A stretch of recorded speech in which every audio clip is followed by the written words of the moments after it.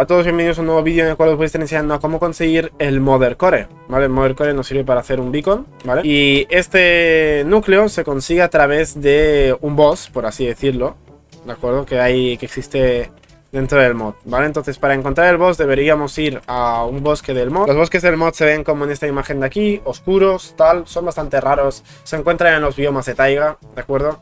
Y básicamente se llama así el boss, Ancient Reminds, nos va a aparecer una boss bar y básicamente este es el bicho, ¿de acuerdo? Y lo que tenemos que hacer para bajarle la vida es ir rompiendo estos elementos que tiene aquí, ¿vale? Estos serían un poquito las, las ramas, o más que las ramas, las raíces, ¿vale? Y tenemos que ir rompiendo estos elementos. De esta forma le iremos bajando la vida hasta que se quede sin vida.